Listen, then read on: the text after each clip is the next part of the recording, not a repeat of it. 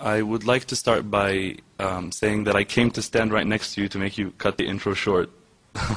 because I wanted to speak from my heart and not through any particular position that uh, this temporary world may have given me. I'm also being very challenged right now, although I am a public speaker, because I want to say a meaning that is very sincere. And I think sincerity is something that is very difficult and a very rare commodity nowadays. And I'm speaking for myself. I think that the very word personality, finding its root in the Latin word persona, means mask. And I just don't want to have a mask as I speak. And I'm hoping that before we all leave, as I'm sure a lot of us have already done, we have shed our masks. And we've truly looked at each other's faces, trying to genuinely understand what each of us on the other side truly represents. I would like to read a verse from the Quran in personal pursuit of inspiration for what it is I would like to say in the following maybe two or three minutes.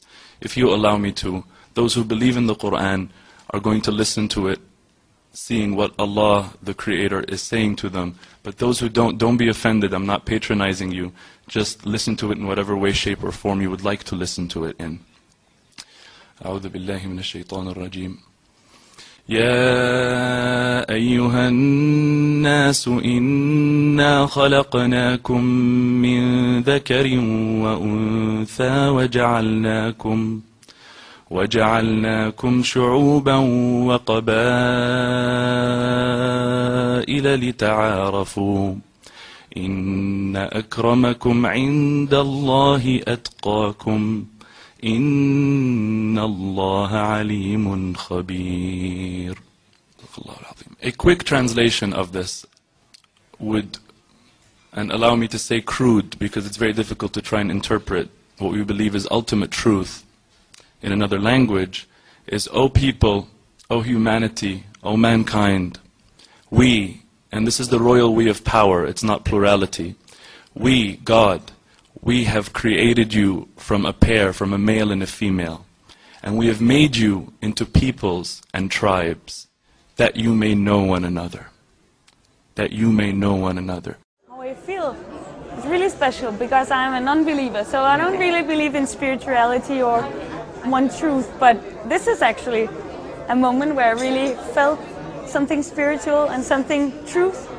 The things that you said in your speech to all of us was really the closest I have been to a, a common, a great truth. So, so it is. I'm really grateful to have this experience. It's like a revolution in my mind, and I hope to bring that to Denmark as well.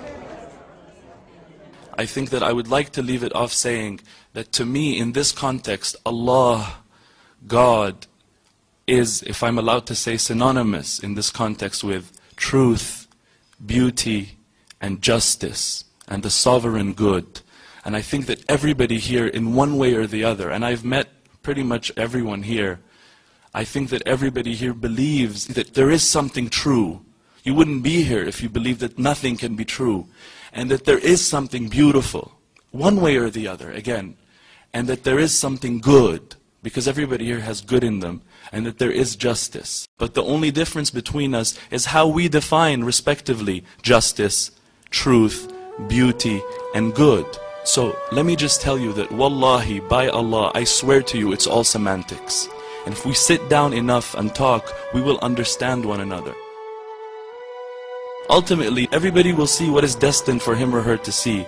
But whatever it is, not only will we see through the veils, we will also love one another, as has happened, and based on that give each other the respect that we've agreed to give each other not because anybody's forced anybody but because we love each other and have become friends and because ta'arafna and because we have gotten to know one another I think as Shaykh al-Buti, may Allah bless him, said رُبَّ ضَرَّةٍ نَافِعَةٍ that perhaps a harmful thing can bring out benefit. I think there's a lot of benefit that has come out of this and I'm very happy to live in this world, in this time, to experience this amazing human possibility of ta'aruf of knowing one another and recognizing the common ground between us. We all have a common denominator.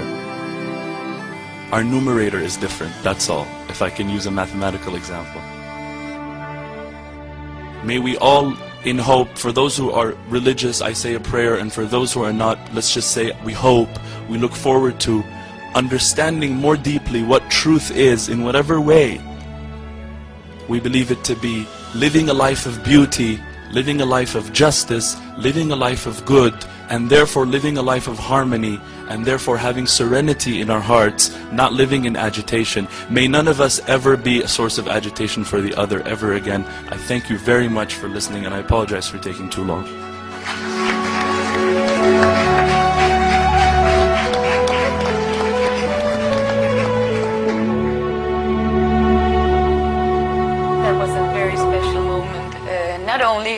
These three days, but of my life. Uh, it was a very spiritual moment, and uh, and I'm not religious. I'm not uh, spiritual, or I thought I wasn't, because this was a spiritual moment that I, I've never experienced something like that before, and that was when I felt humanity. That I felt that there is something that unites us all, and uh, and that's what I'm going to to use my life to show other people.